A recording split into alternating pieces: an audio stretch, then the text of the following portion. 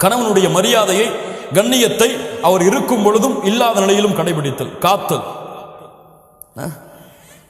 கணவன் போயிட்டான்னா போனை போட்டு இன்னைக்கு அவர் இப்படி செஞ்சார் இவர் இப்படி செஞ்சார் இன்னைக்கு அப்படி நடந்துக்கிட்டார் என்கிட்ட. ல இலாஹ இல்லல்லா புறம் பேசுதலின் உச்சம் தன் கணவனை பற்றி பிறரிடத்தில் சொல்லுது. உன் கணவன் பிரச்சனைக்குரியவனாக இருந்தால் உன் கணவன் உன்னை துன்புறுத்தினால் வேதனை செய்தால் யாரிடத்திலே முறையிடு நீ? உன் தோழிக்கு சென்று உன் கணவனுடைய புற- உன் கணவனுடைய குறையை வெளிப்படுத்துவாயா? அது பாவம் குற்றம்.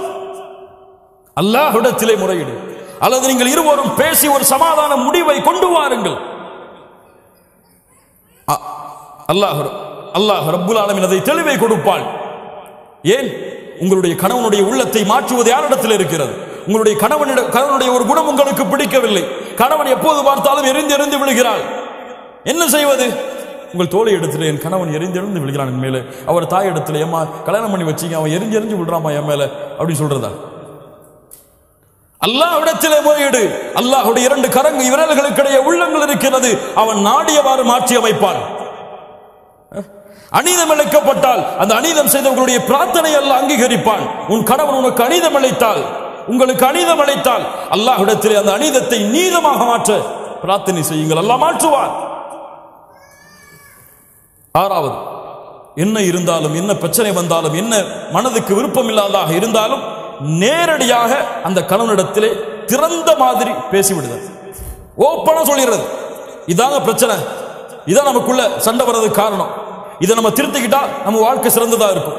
மறைச்சு மறைச்சு மறைச்சு மறைச்சு மறைச்சு வெளிப்படையில வந்தா முகத்தை புன்சிரிப்பு வச்சுக்கிட்டு உள்ளத்துல வந்துட்டானே அப்படின்னு நினைச்சு கொண்டு உங்களுடைய வாழ்க்கையை ஓட்டுனீங்க. உங்களுடைய வாழ்க்கை மகிழ்ச்சியான வாழ்க்கையாக இருக்காது. மகிழ்ச்சி என்பது உள்ளம் சம்பந்தப்பட்டது. உங்களுடைய நாவும் முகமும் மகிழ்ச்சியாக இருந்தால் அது மகிழ்ச்சி கிடையாது. அல்லாஹ் ரப்புல் ஆலமின் அதனால் அதனால் தான் சொல்லுகிறான் சூரா இசாவுடைய நூத்தி இருபத்தி எட்டாவது வசனம். பெண்களே உங்களுடைய கணவன் உங்கள் மீது அநீதம் இழைப்பதை நீங்கள் பயந்தால் உங்கள் கணவன் உங்கள் மீது அதிர்ச்சி கொள்வதை நீங்கள் பயந்தால் நீங்கள் இருவரும் சமாதானமாக மாறுங்கள்.